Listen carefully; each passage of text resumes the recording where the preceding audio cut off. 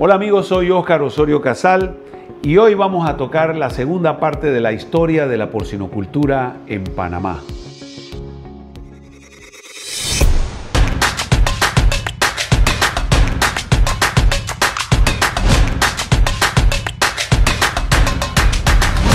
Preparémonos para el futuro. El agro ahora. Con Óscar Osorio Casal.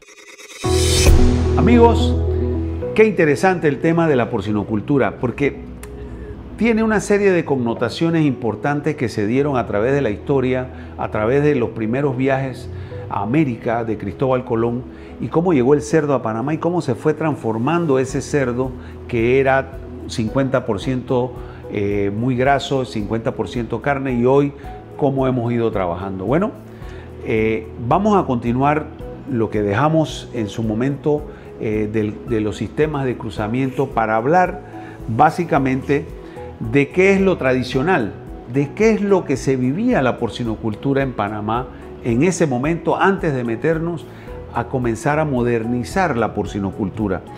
Y básicamente desde los años 60 a los 90 tradicionalmente se trabajaban, como dije, con razas eh, traídas de Estados Unidos, pero eran F1. Casi muy pocos estaban eh, involucrado eh, en Panamá fincas que tuviesen programas de genética para venta.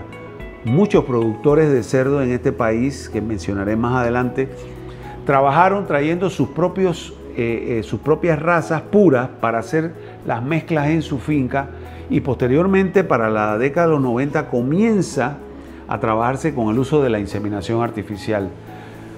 Eh, a título personal, yo trabajé para una empresa importante e hicimos unas importaciones de, animales puros y montamos el primer laboratorio de extracción de semen aquí en Panamá y podíamos hacer inseminación con semen fresco porque también hay inseminación con semen congelado. Pero muchos trabajaron en ese momento y hoy en día también se hace ese trabajo con el semen fresco a nivel de inseminación. Algunas granjas en Panamá lograron importar todos estos sementales, lograban importar F1 y algunos comenzaron a lograr eh, importar este, eh, animales de líneas genéticas que básicamente voy a tocar ese tema de líneas para, para decirle qué es lo que está sucediendo en el mundo en este momento.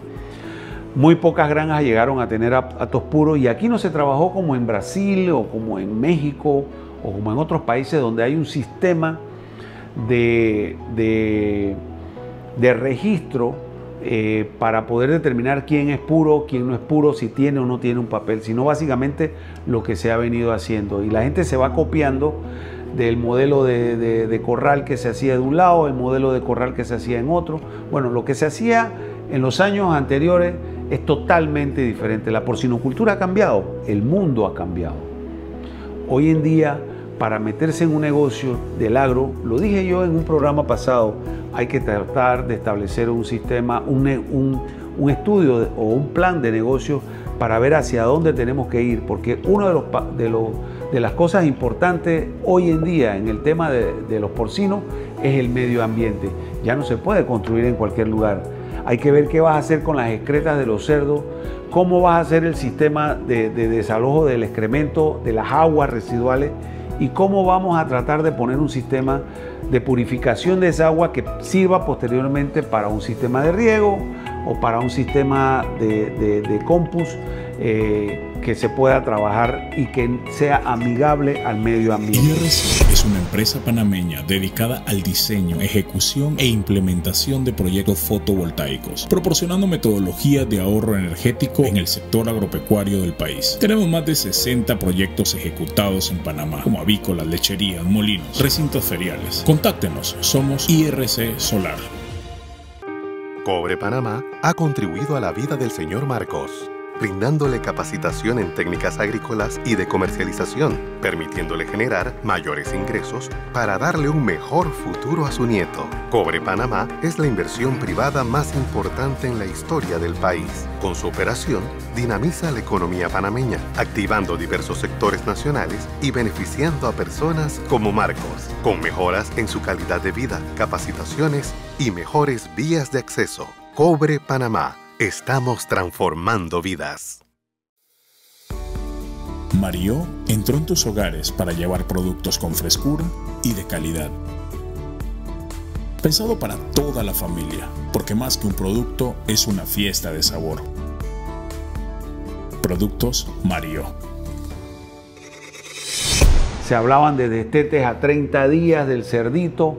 Hoy en día estamos hablando de destetes a los 21 días y eso es gracias a la dieta del cerdo que fue cambiando en países tan, tan organizados como Estados Unidos eh, y en Panamá llegó el tema de los preiniciadores. Las granjas normalmente se construían en sistemas de corrales de cemento y eran corrales inmensos donde tenían hasta 50, 60, 100 cerdos. La pelea eran inmensas, había un canibalismo. Bueno, hoy en día se construyen corrales mucho más pequeños. Se construyen corrales de 20. Se habla de sistemas de todo dentro, todo fuera. Se establecen unas granjas.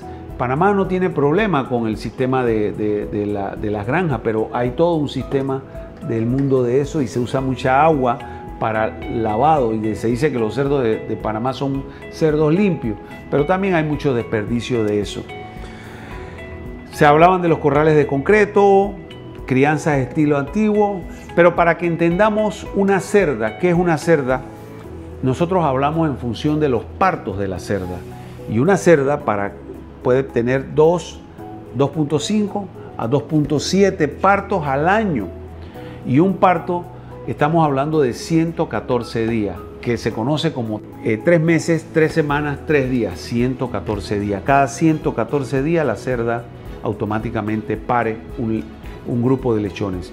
Posteriormente desteta a los 21 días, tiene un periodo de 21 días para tratar de ver si la montamos y se puede, hay un periodo entre abierto, eh, eh, calculando esto, y la cerda que logra parir vuelve y logra otro parto en el año y así, y se han logrado, eh, tanto en Panamá como en el mundo entero, importantes ciclos. Los cerdos cebados hoy en día están demorando de 5 a 6 meses y medio con pesos de hasta 200 libras en canal, que es como se llevan eh, eso. Y estamos hablando de que en esta porcinocultura del siglo XXI las cosas cambiaron. Cambiaron con las líneas genéticas. ¿Y las líneas genéticas qué son? Son líneas que han trabajado empresas y que han buscado las abuelas, los abuelos, han hecho todo un sistema para sacar un número, la cerda número tal o el macho número 405 y ahí se mencionan grandes empresas como PIC, hoy en día eh, Genetipor, que era de Canadá, la absorbió PIC, y ellos te venden una línea, un patrón, pero esa línea hace que haya más prolificidad, o sea, que haya una camada más grande, que desteten más, que la cerda dé más leche, que sea más longevo. Eso a nivel eh, de línea. Pero la gente sigue trabajando en sistemas, eh, en sistemas tradicionales de, los cruzamientos, de los puros, de los atos puros, de los atos F1. La gente sigue trabajando en eso y no todo el mundo está trabajando con la línea, pero de eso se da. Y vemos que las cosas cambiaron en el tema de, de equipamiento. Tenemos en maternidad sistema de jaulas, que es donde se mete una cerda para que pase todas sus 114 días.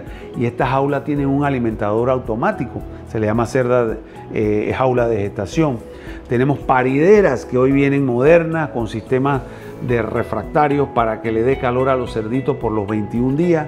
Los pisos ya no son pisos de cemento ni de madera como antes, eh, ni con acerrín, sino son pisos suspendidos y estos pisos son de plástico donde hay aberturas que pase el excremento y el orín y que caiga y que pueda haber un desalojo del excremento.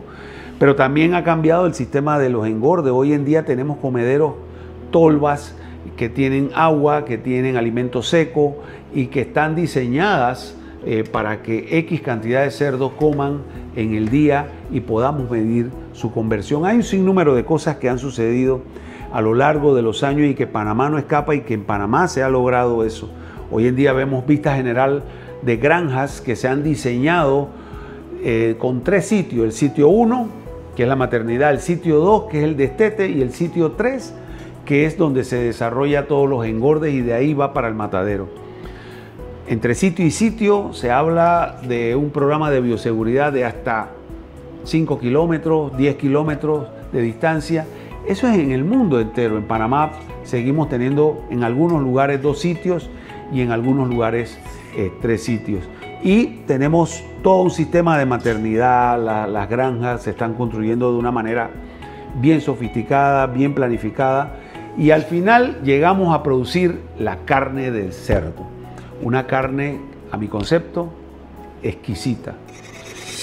IRC es una empresa panameña dedicada al diseño, ejecución e implementación de proyectos fotovoltaicos, proporcionando metodologías de ahorro energético en el sector agropecuario del país. Tenemos más de 60 proyectos ejecutados en Panamá, como avícolas, lecherías, molinos, recintos feriales. Contáctenos, somos IRC Solar. Cobre Panamá ha contribuido a la vida del señor Marcos brindándole capacitación en técnicas agrícolas y de comercialización, permitiéndole generar mayores ingresos para darle un mejor futuro a su nieto. Cobre Panamá es la inversión privada más importante en la historia del país. Con su operación, dinamiza la economía panameña, activando diversos sectores nacionales y beneficiando a personas como Marcos, con mejoras en su calidad de vida, capacitaciones y mejores vías de acceso. Cobre Panamá Estamos transformando vidas. Mario entró en tus hogares para llevar productos con frescura y de calidad. Pensado para toda la familia, porque más que un producto es una fiesta de sabor. Productos Mario. En Estados Unidos se menciona mucho de other white meat, la otra carne blanca. Entonces, pero eso tiene que ver un juego con dieta y con genética para producir un cerdo magro. Y por eso se hacen los chequeos en la, de grasa dorsal eh, con, aparatos que los tenemos aquí en, en Panamá. Porque lo que queremos es que en el cerdo, cuando lo tenemos en canal, podamos medir la grasa dorsal. Al final, amigos, lo que queremos es una carne de cerdo exquisita. Porque preparada ya está comprobada que la carne de cerdo no es como muchos dicen, y es un tabú el tema de que, de que la carne de cerdo hace daño. Por supuesto, comer chicharrones todos los días eh, te va a hacer daño, pero, pero los, que, los que pueden comer la carne de cerdo sin grasa, créame que es un excelente y apetitoso eh, eh, almuerzo o cena o como quieran llamarlo. Pero también la carne de cerdo ha llegado al tema de la transformación, ha llegado a los jamones ahumados, ha llegado a los bacon, ha llegado también a producir las mortadelas, las, toda una serie de cosas que producimos a través de la carne de cerdo que estoy seguro que se les hace agua a la boca, pero Estados Unidos ha dicho, entre otras cosas, que la carne de cerdo ha llegado a niveles importantes en Estados Unidos y en el mundo entero. En China, básicamente, que es una población de 1.300, 1.400 millones de habitantes, se está manejando mucha producción de cerdo y son los grandes compradores hoy en día. Y Panamá no es capaz de producir X cantidad para el consumo local y algo que se está buscando y quizás con el tema de los agroparques que se han estado discutiendo, logremos establecer compañías que puedan exportar, no que vendan localmente, que puedan exportar y que muchos productores se vayan transformando de pequeños productores a grupos de productores lo que hemos mencionado aquí en el tema de la asociatividad, para que grupos de pequeños productores logren establecerse. Y para que tengan un dato importante, la, producción de cerdo se mide en el mundo entero a través de las madres, o sea, de la cerda. Y por ejemplo, podemos mencionar poblaciones mundiales de cerdo. Panamá en el 2018 tenía 40.000 madres. Eh, en Guatemala 50 mil, en El Salvador 12 mil madres, eh, en Cuba 80 mil, por eso que Cuba consume mucha carne de cerdo, en Perú 90 mil, en Bolivia 40 mil madres y eh, en Chile 220 mil madres. De allí se desprende de que cada madre debe estar dando al mercado ya sacrificado entre 20 a 30 cerdos ya cebados. ¿Y saben cuánto tiene Filipinas? 2 millones de madres. Así es que se mide la producción. Panamá apenas tiene 40 eh, mil y va hacia el tema de los 50, 60 mil. Pero hay fincas en el mundo en México, en Estados Unidos, que un solo productor tiene 40 mil, tiene todo lo que tiene Panamá en una sola finca. Entonces estamos hablando de grandes ligas y hacia eso debemos llegar porque tenemos que establecer los cálculos porcinos para determinar cuánto estábamos antes y cuánto estamos hoy en día. Y esos son temas que se van discutiendo con los asesores, con los funcionarios que atienden a nivel del Ministerio de Agricultura en Panamá, con los asesores que se tienen en las diferentes empresas para tratar de ir buscando un tema de conversión eh, eficiente y competitiva. Pero de eso hay todo un mundo de cosas. Tenemos gráfica en el documento PDF que va a estar aquí en, en este programa. Ustedes van a encontrar la historia de la porcinocultura detalladamente y hay algunos análisis que hemos hecho sobre el sacrificio, sobre la, población porcina y puedo darle cifras como por ejemplo al 2019 el sacrificio en Panamá eran de casi 500 mil cerdos al año. Veníamos de 200 y tantos mil, estábamos en 500. Y la población porcina era de 350 mil eh, cerdos. Pero hay cosas y hay retos que hay que cumplir. Los retos fundamentales son las tecnologías. Tenemos que estar abiertos al tema de la tecnología, mejorar los índices de conversión. El tema de las dietas es un tema súper interesante, todos los días está cambiando. El reto de las enfermedades que se producen a través de la vida del cerdo son temas importantes. Aumentar el número de cerdos a mercado por madre, establecer sistemas de costo estándar eh, por región para tratar de definir dónde estamos, lo que hemos hablado en el tema de la lechería, eh, ver cómo manejamos los desechos en cada finca para mitigar los efectos del daño al medio ambiente y buscar este, modelos asociativos para los pequeños y medianos productores y crear las zonas de exportación. Es un tema que allá habíamos tocado hace muchos años y que me alegro mucho que esté el tema de los agroparques. Pero la cría y ceba de cerdos en Panamá es una actividad que genera más de 500 millones de dólares eh, de, inversión. La historia nos muestra una transformación importante de una actividad desde los años 50 hasta el presente. Cada productor en este país ha hecho un esfuerzo, ha dado su vida por este sector y es justo reconocerlo. Yo quiero hoy reconocer a los expresidentes de ANAPOR, que desde Eric Pérez pasamos por Rolando Fun, Víctor Epifanio, que su hijo ha legado pues eh, la empresa, la señora Gladys Vallarino, que hoy en día los Vallarinos están con la empresa, Francisco Choqui Pinilla, él y su hermano hicieron una empresa importante, Eliodoro Vázquez también fue presidente, Carlos Villalaz, con él yo lo acompañé como su secretario, Benjamín Rosas, un gran amigo de Oriente en Chiriquí, Aníbal Bocaranda, Lionel Martínez, el doctor Ignacio Romero y el actual presidente eh, Carlos Pití.